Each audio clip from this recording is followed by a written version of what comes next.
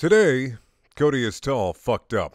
I'm a high school student working part time as a cashier at a large retail sporting goods store. This week has been quite long and tiring for me, so I've had many late nights and I'm running low on sleep.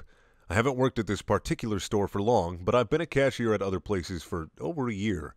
By now, I know what I need to do and what I need to say, so I'm basically on autopilot, saying practically the exact same thing to everyone without any real thinking. So tonight at like 9 or so, I'm fucking exhausted just like I have been all week, and pretty much half asleep. But we still have a couple of customers coming through. As I said earlier, I say the exact same shit to every customer. And the last thing I always say when I give them the receipt is, enjoy the rest of your evening. However, with one of the customers right when I was starting to say this, one of the other cashiers shot a rubber band at my ass and scored a direct hit. This is a fairly regular occurrence here. We mess around a lot when managers aren't around and it's a little slow. What went through my mind when the rubber projectile smacked my ass was naturally, how my ass.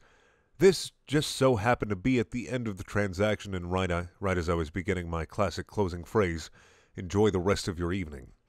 But my sleep deprived brain couldn't keep its shit together and successfully maintain separate thoughts. What came out of my mouth were the words, enjoy the rest of my ass to a customer with eye contact.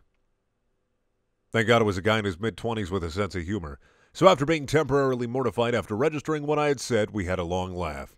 I explained myself and I apologized. This was still hands down the most awkward moment of my life, at least so far.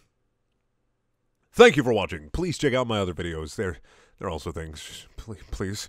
If you want to watch more today, I fucked ups. Click on the top right hand corner. If you want to watch a video that has nothing to do with my channel whatsoever, click in the bottom left hand corner. All right, bye.